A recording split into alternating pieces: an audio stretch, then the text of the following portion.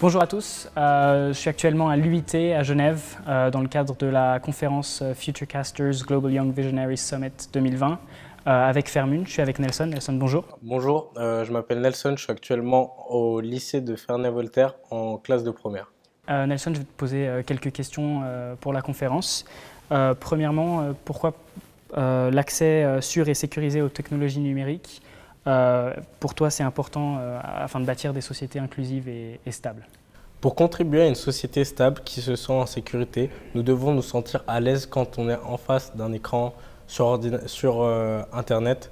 il est très important dans le monde dans lequel nous vivons actuellement d'avoir une vie privée qui ne sera jamais révélée au grand jour.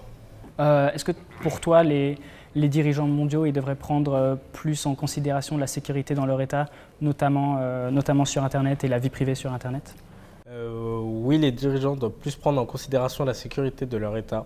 Il y a quelque temps, certains dirigeants ne respectaient pas la vie privée et, des citoyens et aujourd'hui, je pense que c'est hyper important de conserver sa vie privée.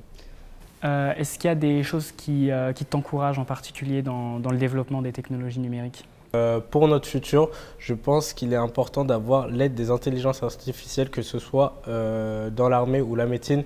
Par exemple, dans l'armée, pour pas avoir de pertes humaines, ou euh, dans la médecine,